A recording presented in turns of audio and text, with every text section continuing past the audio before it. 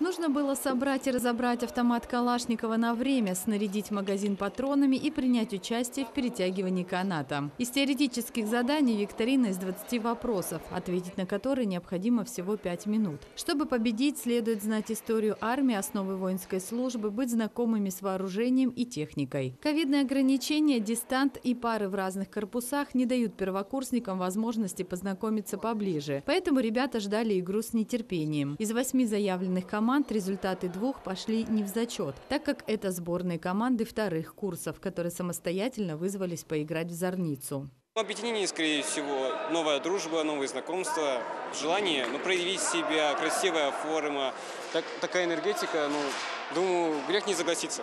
Для Валентины Солопиной разбирать и собирать автомат Калашникова – привычное дело. Еще до поступления в колледж она посещала кружок в детско-юношеском центре «Прометей» под названием «Юный десантник». Плюс оттачивала практику в колледже на уроках ОБЖ. Пригодились все навыки. Самое сложное было как раз-таки э, преодолеть препятствия и при этом не уронить планку. Потому, потому что с автоматом я очень часто с ребятами во время уроков ОБЖ собираем, разбираем их. Это уже практически на автомате происходит. Результат выявляли в общекомандном зачете и по принципу «один за всех и все за одного». Если кто-то справляется с заданием быстро, то другой может потратить больше времени и подвести всех. В любом случае, по словам организаторов, целью было не определить победителя, а зарядить положительными эмоциями ребят.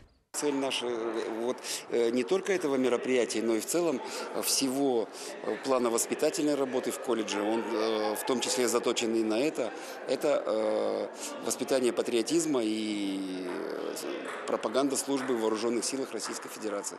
В этом плане у нас и социальное партнерство хорошо организовано, мы взаимодействуем с войсковой частью Югорск-2 и с военным комиссариатом, ну и с другими заинтересованными организациями. Вторая часть игры – это эвакуация раненого с поля боя. Ребята в спецодежде по снегу с оружием должны были преодолеть гладким бегом участок местности длиной в 50 метров, уложить пострадавшего на носилки и преодолеть все препятствия, в том числе по-пластунски около 20 метров. Ребята с полевыми испытаниями справились хорошо и дружно. Первое место заняли киповцы – это команда «Десант», второе – у электриков и третье – у строителей.